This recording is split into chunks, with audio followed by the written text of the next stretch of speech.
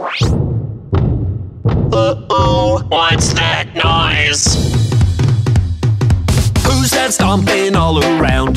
He's gotta weigh 5,000 pounds. Can you feel his footsteps on the ground? He's a rhino. His skin is rough and gray. I hear he likes it that way. You better be careful when you play with a rhino. There is no need to discuss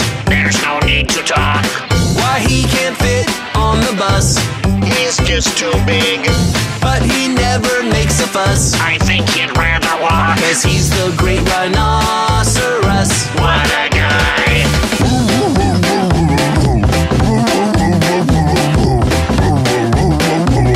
He's a rhino. His ears flitter to and fro. Take a look at those giant toes. He's got a big old horn